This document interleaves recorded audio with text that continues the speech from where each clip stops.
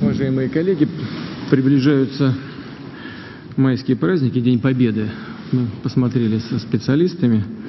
У нас 5 и 6 выходные дни, потом 7, 8, э, 7, 8 рабочие дни, 9 опять выходной день, потом два дня рабочих и опять выходные дни.